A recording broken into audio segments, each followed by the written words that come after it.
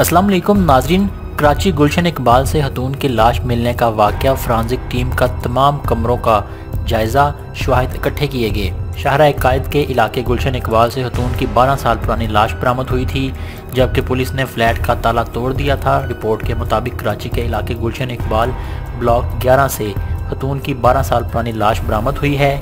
S P گلشن اور دیگر افسران نے جائے وقوع کا دورہ کیا۔ پولیس کے مطابق فلیٹ کے اندر سے کوئی مشکوک چیز نہیں ملی۔ پولیس کے مطابق فلیٹ سے پلاسٹک سے بڑی بوریوں کی تعداد ملی ہے۔ فرانزک ٹیم نے تمام کمروں کا جائزہ لیا اور شاہد اکٹھے کیے۔ پولیس کے مطابق خاتون زکیہ گورنمنٹ سکول ٹیچر تھی۔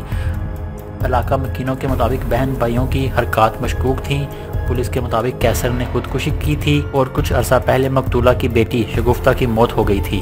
واضح ہے کہ کراچی کے علاقے گلشن اقبال میں بیٹے اور بیٹی نے محبت میں ماں کی لاش کو دفنانے کے بجائے بارہ سال تک اس کو فریزر میں رکھا تھا۔ پولیس کے مطابق جب زکیہ کا بیٹا اور بیٹی بھی فوت ہوئے تو ان کے بھائی محبوب نے لاش کی دیکھ بھال شروع کی۔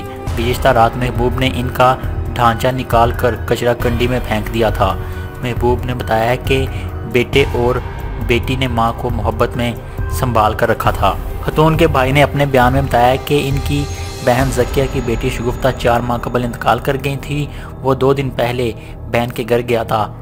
تو دیکھا کہ بہن کی لاش بستر پر پڑی ہے۔ وہ دو دن پہلے بہن کے گھر گیا تھا تو دیکھا کہ بہن کی لاش بستر پر پڑی ہے۔ زکیہ کا ذہنی توازن بھی ٹھیک نہیں تھا۔ پولیس کے مطابق لاش کا پوسٹ مارٹم کر لیا گیا ہے اور محبوب کو حراست میں لے کر تفتیش کی جائے گی۔